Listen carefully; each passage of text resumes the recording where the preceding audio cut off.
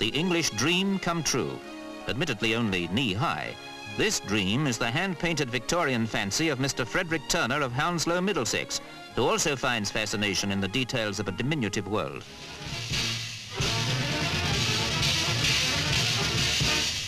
It was an old-fashioned carousel like this, but life-size, that inspired Mr. Turner to become an engineer. Now he's created a model of his inspiration. So the old showground world comes round again. Some people insist that anything old mustn't be allowed to fade away. It would take more than a revolution to turn off